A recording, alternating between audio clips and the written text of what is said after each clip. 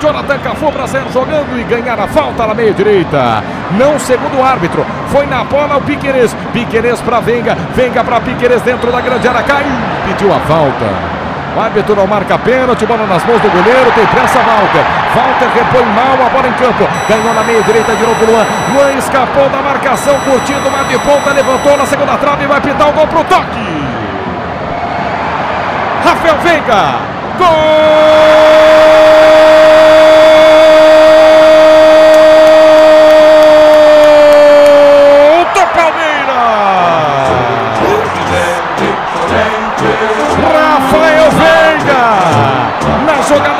Começa com brilhantismo de Luan. O Luan curtindo uma de ponta na ponta. direita escapa da marcação.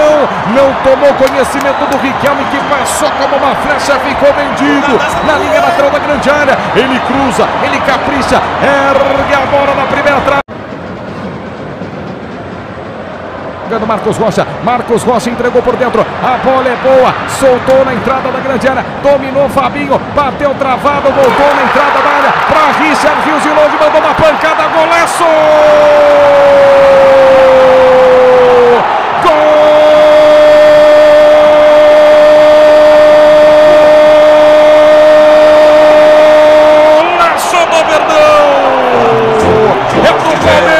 Richard Rios, uma pancada de longe.